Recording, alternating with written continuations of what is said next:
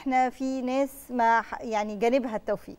خسارة لفوزية الشامي وعلا محمود وده كان في ربع نهائي زوجي الطاولة في البارالمبياد وإحنا كنا متوقعين نتيجة أحسن من كده. تمام. خلينا الأول قبل ما نبدأ أي حاجة نتفق إن ابطالنا البارالمبيين ايا كانت نتائجهم إحنا فخورين بيهم وفخورين بأدائهم. وجودهم في باريس ده في حد ذاته إنجاز لكن هيظلوا هم أبطال وبرضه بيشرفونا في المحافل الدولية والأفريقية. طبعا. آه يمكن فوزية الشامي آه وعلا محمود كانت مباراتهم صعبة شوية كانوا بيواجهوا الزوجي البرازيلي. يمكن الشوط الأولاني ما كانش موفقين تماما. كانت المباراة تقريبا one side game للزوجي البرازيلي. يمكن الشوط الثاني بدا يدخلوا في المباراة أكتر شوية يبدأوا يعوضوا النتيجة يبدأوا يعوضوا الفارق. لكن هي المباراة كانت صعبة عليهم. طبعا إحنا كنا نفسنا النتيجة أحسن لأن الفوز في مباراة ربع النهائي كانت تعني حصول على ميدالية لأن اللي بيوصل لنص النهائي بيحصل على الأقل على الميدالية البرونزية.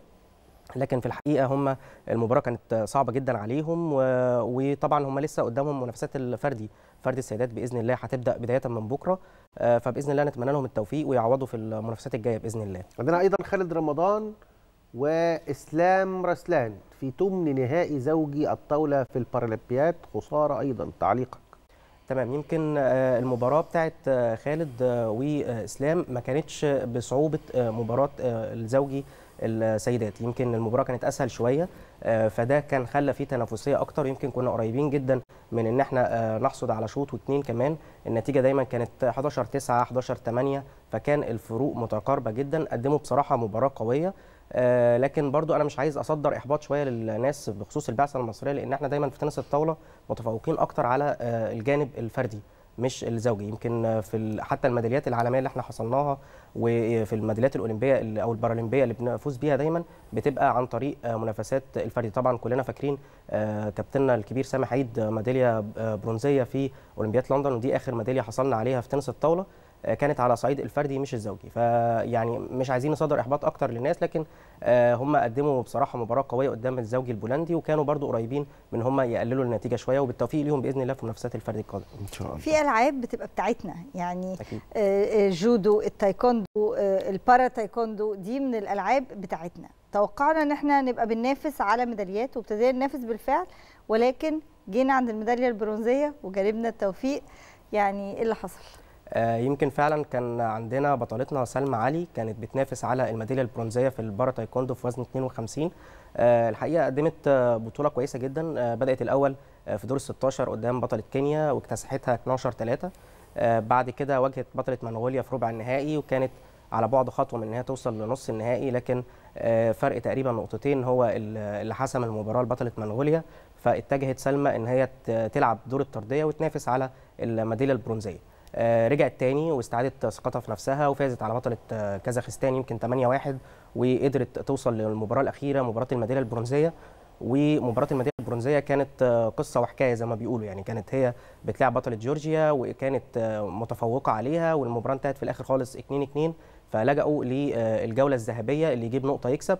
لكن المباراة انتهت برضو بالتعادل فتم اللجوء لترجيح التحكيم. ترجيح التحكيم مش دايما بينصفنا يمكن إحنا عندنا قصتنا مع بطلتنا في الكاراتيه جيانا فاروق في أولمبياد طوكيو طبعا طبعا. وحصل الترجيح لصالح اللعيبة الأخرى ف يعني إحنا دايما في الترجيح ما يعني الحكام ما بينصفوناش قوي يعني حظنا مش حلو معاهم قوي فيمكن ده حصل فعلا مع سلمى وللأسف الترجيح راح للاعيبة جورجيا وخسرت الميدالية البرونزية لكن هي بصراحة قدمت مباراة قوية جدا وبطولة عموما قوية جدا وبنتمنى لها التوفيق بإذن الله الفترة القادمة. سيد يوسف وهناء حماد في الدور ال 32 من زوج المختلط.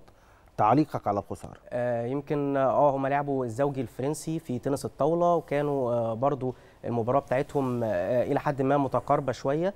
آه النتيجة آه يمكن في الآخر خالص بتبقى اسمها 3-0 لكن الأشواط نفسها النتائج بتاعتهم متقاربة جدا.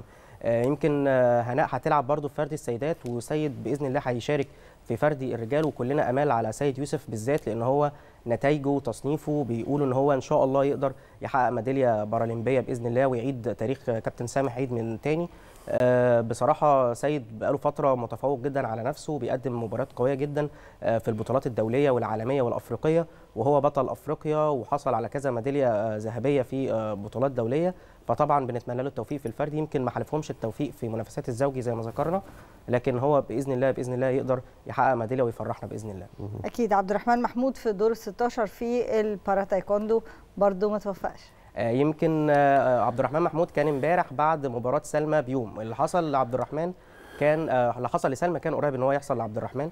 يمكن كانت مباراة برده ماراثونية شوية انتهت وقتها الأول ب 16 5 لصاحب اللاعب الجورجي وبعد كده قمنا بتقديم اعتراض من المدرب الخاص بينا دكتور إسماعيل مهران.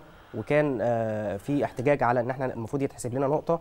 الطاقم التحكيمي قعد حوالي خمس دقائق عقبال ما يحسب النقطة لينا وتعادلنا 16 16 بالفعل ولجأنا للنقطة الذهبية. وفضلنا برضو حوالي دقيقة بنلعب النقطة الذهبية. للأسف عبد الرحمن يمكن كان مضغوط شوية إن هو يلجأ للترجيح التحكيمي زي ما حصل لسلمى فكان مستعجل على النقطة وكان عايز يخطف النقطة بأي طريقة. لكن طبعا البطل الجورجي قدر ياخد نقطتين ويفوز بالمباراة. وللأسف الطردية بتبدأ من ربع النهائي وده كان دور ال 16 فما توفقش إن هو يشارك في في المنافسات الطردية. آه لكن الحقيقة كان قريب جدا إن هو يكمل ويوصل بس بنتمنى له طبعا التوفيق الفترة القادمة بإذن الله.